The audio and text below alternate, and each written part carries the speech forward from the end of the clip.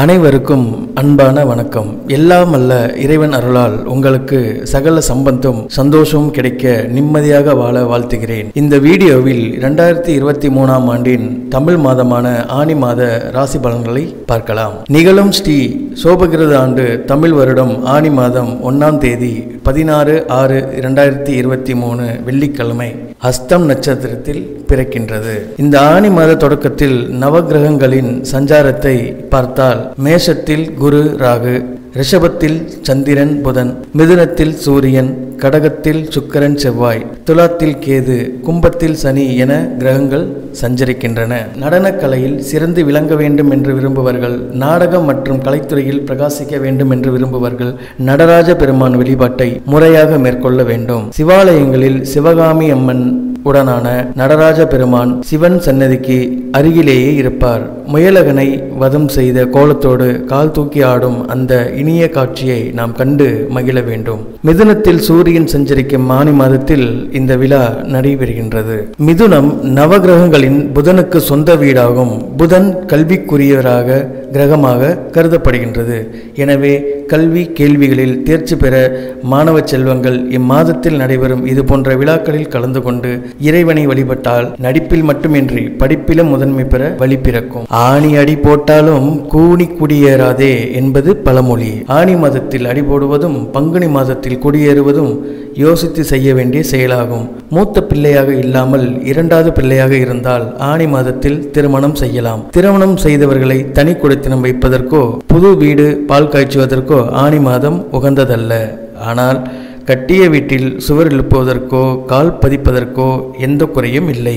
எனவேதான் ஆணி அடி போட்டாலும் கூனி குடியேறாதே என்று சொல்லியிருக்கிறார்கள். ஆணி மூணாம் தேதி மிதன ராசிக்கு புதன் செல்கிறார். ஆணி பனிரெண்டாம் தேதி கும்பராசியில் சனி வக்கரமடைகிறார். ஆணி பதினேழாம் தேதி சிம்ம ராசியில் செவ்வாய் செல்கிறார். ஆணி பதினெட்டாம் தேதி சிம்ம ராசியில் சுக்கரன் பெயர்கிறார். ஆணி பத்தொன்பதாம் தேதி கடக ராசியில் புதன் செல்கிறார். ஆணி ஒன்னாம் தேதி முதல் பதினேழாம் தேதி வரை கடகத்தில் உள்ள செவ்வாயின் பார்வை கும்பத்தில் உள்ள சனியின் மீது பதிகின்றது. அதன் பிறகு சிம்மத்திற்கு செவ்வாய் வந்தாலும் சப்தம பார்வையாக சனியை பார்த்தாலும் மேஷம் கடகம் சிம்மம் விருச்சகம் தனுசு மகரம் கும்பம் மீனம் ஆகிய ராசிக்காரர்கள் மிகுந்த கவனத்துடன் செயல்பட வேண்டும். இந்த கிரகங்களின் சஞ்சாரம் மற்றும் மாற்றத்தினால் உங்கள் ராசிக்கு என்னென்ன பலன்கள் கிடைக்கப் போகிறது? நீங்கள் செய்ய வேண்டிய பரிகாரங்கள் என்னவென்று இந்த வீடியோவில் நாம் பார்ப்போம். கும்பராசி நேயர்களே மாத தொடக்க நேரத்தில் ராசிக்கு ஐந்தாம் இடத்தில் சூரியனும் ஆறாம் இடத்தில் செவ்வாயும் மூன்றாம் இடத்தில் ராகு குரு சேர்க்கையும் என்பதனை கிரகநிலைகள் உழவுகின்றன. இதனால் மாதம் முழுவதும் புதிய வித தொந்தரவுகள் ஏற்படாது. ஆரோக்கிய நிலைமை இதமாக நகரும். குடும்ப நிலைமையை மகிழ்ச்சி குடும்ப நிலைமை மகிழ்ச்சியை தரும். இதனால் மாதம் முழுவதும் புதிய வித தொந்தரவுகள் ஏற்படாது. ஆரோக்கிய நிலைமை இதமாக நகரும்.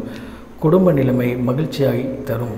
உறவுகளால் சிக்கல்கள் அனாவசிய விமர்சனங்கள் என்றபடி எதுவும் இல்லை வாழ்க்கை துணை எவ்வித எதிர்கருத்தும் போட்டியும் இல்லாமல் அனுசரணை செய்வார். வருமானம் இரட்டிப்பாகவே நீடிக்கும். செலவுகள் குறைந்து புதிய வரவுகள் அதிகரிக்கும். சேமிப்பு இரட்டையாக உயரும். திட்டமிட்டிருக்கிற விஷயங்களில் ஆதாயம் குறைவில்லாமல் இருக்கும். உத்தியோகம் பணி பதவி விஷயங்கள் மாதம் தொடங்கி பத்தாவது தினத்திற்கு பிறகு புதிய ஏற்றத்தை தரும். தொழில் வியாபார நிர்வாக புதிய முதலீடு யோசனைகள் அனுகூலத்தை தரும். கடன் கொடுக்கல் வாங்கல் நாணய விஷயங்கள் எந்த தொந்தரவையும் தராது. புதிய கடன் படுவதற்கான வாய்ப்பு இல்லை. இரண்டாவது வாரம் முழுவதும் சுற்றுலா ஆன்மீக பயணம் என்றபடியே நகரும். வாரிசுகளால் பெருமிதம் ஏற்படும். அவர்களுக்கான உத்தியோகம் எதிர்பார்த்தபடி அமையும். அயல் மாநில அயல் தேச நடவடிக்கைகள் வெற்றியை தரும். இம்மாத வெள்ளி செவ்வாய்க்கிழமைகளிலும் இம்மாத இரண்டு ஐந்து ஒன்பது பதினாலு பதினாறு இருபத்தி ரெண்டு இருபத்தாறு அந்த நாட்களும் ஆச்சரியப்படுகின்ற உயர்வு மாற்றங்களை பணவரவுகளை சொத்து பத்து சேர்க்கைகளை நீண்ட நாள் இழுபறி காரியங்களிலும் வெற்றி தரும். சதயன் நட்சத்திர இளம் ஏறுபாளர்களுக்கும் மன திருமண கனவு நிறைவேறும். அவிட்டம் நட்சத்திர இளம் தம்பதியர்களின் புத்திர பாக்கிய கவலை நீங்கும். இரண்டாவது வாரத்தில் இருந்து பரணி மற்றும் அனுஷம் நட்சத்திரக்காரர்கள் பக்கபலமாக நின்று கௌரவ அந்தஸ்தை உயர்த்துவர். நன்றி. மேலும் ஆனி மாதம் மூணாம் தேதி மிதன ராசிக்கு புதன் செல்கிறார். உங்கள் ராசிக்கு பஞ்சம அஷ்டமாதிபதி ஆனவர் புதன். அவர் பூர்வ புண்ணிய ஸ்தானத்திற்கு வரும்பொழுது பிள்ளைகளால் ஏற்பட்ட பிரச்சனைகள் தீரும். குழந்தைகளின் எதிர்கால நலன் கருதி நீங்கள் தீட்டிய திட்டங்கள் வெற்றி பெறும். கல்யாண முயற்சி கைகூடலாம். படித்து முடித்து வேலை இல்லையே என்று கவலைப்பட்டவர்களுக்கு இப்பொழுது வேலை கிடைக்கும். பூர்வ புண்ணியத்தின் பலனாக சொத்து பத்துகள் சம்பந்தமான பிரச்சனை சுமூகமாக முடியும். பூமி விற்பனை மூலம் வரும் லாபத்தை கொண்டு தொழிலை விரிவு செய்ய முயற்சிப்பீர்கள். மேலும் ஆனி மாதம் பதினேழாம் தேதி சிம்ம ராசிக்கு செவ்வாய் செல்கிறார்.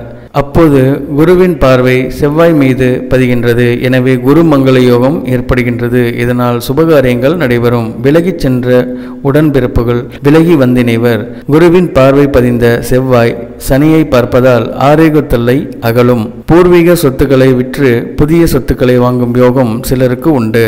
வெளிநாட்டிலிருந்து தாய்நாட்டிற்கு வர முடியாமல் தவித்தவர்களுக்கும் தாய்நாட்டிலிருந்து வெளிநாட்டிற்கு செல்ல முடியாமல் தவித்தவர்களுக்கும் இப்பொழுது வழி பிறக்கும். வாழ்க்கை துணைக்கு வேலை கிடைத்து வருமானம் கூடும். பஞ்சாயத்துகள் சாதகமாக முடியும். மேலும் ஆனி மாதம் பதினெட்டாம் தேதி சிம்மராசிக்கு சுக்கரன் செல்கிறார். இதன் விளைவாக சுக்கர மங்கள யோகம் நடைபெறுகின்றது. குருவின் பார்வை செவ்வாய் மற்றும் சுக்கரன் மீது பதிவது யோகம்தான். சொத்து தகராறுகள் அகலும். சொந்தங்கள் ஆச்சரியப்படும் அளவிற்கு முன்னேற்றம் ஏற்படும். உத்தியோகத்தில் பணி நிரந்தரம் பற்றிய தகவல் வரலாம். உள்ளத்தில் உறுதியோடு செயல்படுவீர்கள். பொது வாழ்வில் உள்ளவர்களுக்கு புதிய பொறுப்புகள் கிடைத்து மகிழ்ச்சி அதிகரிக்கும். ஆடை ஆபரண சேர்க்கை உண்டு. வெளிநாட்டில் உள்ள நல்ல நிறுவனங்களில் இருந்து அழைப்புகள் வரலாம். மேலும் ஆனி மாதம் பத்தொன்பதாம் தேதி கடகராசிக்கு புதன் செல்கிறார். உங்கள் ராசிக்கு பஞ்சம அஷ்டமாதிபதியானவர் புதன்.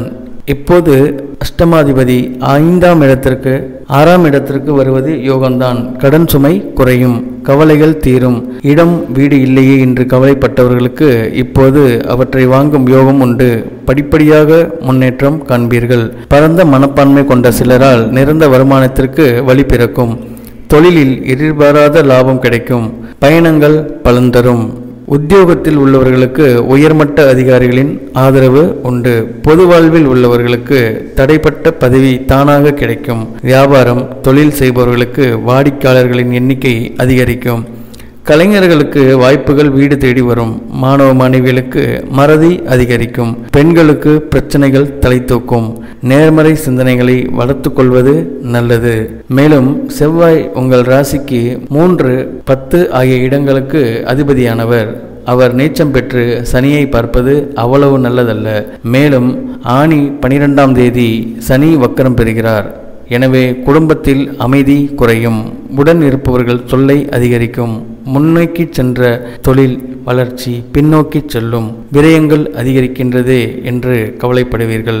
வீடு மாற்றமும் இடமாற்றமும் விரும்பத்தக்க விதம் அமையாது. உத்தியோகத்தில் உள்ளவர்களுக்கு மேலதிகாரிகளின் கெடுபடி அதிகரிக்கும். கும்பராசி பெண்மணிகளுக்கு மன ரீதியாக தொடர்கின்ற சஞ்சலங்கள் வாழ்க்கை துணை வழியில் ஏற்பட்டிருக்கிற சிக்கல்கள் முடிவுக்கு வரும். வருகின்ற புரட்டாசி மாதத்திலிருந்து குடும்பத்திற்கான அனைத்து நன்மைகளும் உண்டாகி இடமாற்றமும் ஏற்படும். மாணவ மாணவிகள் தங்களது தற்போதைய கல்விகளிலும் அடுத்த கட்ட உயர்கல்விகளிலும் விழிப்போடு ஈடுபட வேண்டும். எந்த கல்வியை தேர்ந்தெடுத்தாலும் தெளிவான முடிவு தேவை. சக நட்பு சார்ந்த பிரச்சனைகளில் அதிக மும்முரமும் காட்டக்கூடாது. விவசாயிகள் வருகின்ற ஆணி மாதம் தொட்டு தங்களது உற்பத்தி சார்ந்த விஷயங்களில் அதிக சிரத்தை எடுக்கலாம். லாபத்திற்கு பஞ்சம் இருக்காது. குத்தகைக்கு நிலம் எடுப்பதனாலும் ஆதாயமும் உண்டு. கலைஞர்கள் துறை சார்ந்த விஷயங்கள் அதிக உழைப்பை கொடுத்து செயல்பட வேண்டி இருக்கும் அடுத்து வருகிற ஐந்தரை மாதங்கள் கொஞ்சம் பொருளாதார சிரமம் இருக்கும். அதன் பிறகு மாற்றம் ஏற்படும். அரசியல்வாதிகளுக்கு வருகிற ஆடி ஆவணி மாதங்களில் சககட்சி ரீதியான அனுகூலம் கிடைக்கும். ஒரு பெரிய மாற்றம் பதவி ரீதியாக கிடைக்கப் போகிறது. மொத்தத்தில் இந்த ஆணி மாதம் உங்களுக்கான வளர்ச்சியும் பொருளாதார மேன்மையும் காரிய வெற்றி அனைத்தையும் வழங்கிவிட்டு தான் செல்லப் போகிறது. நன்றி.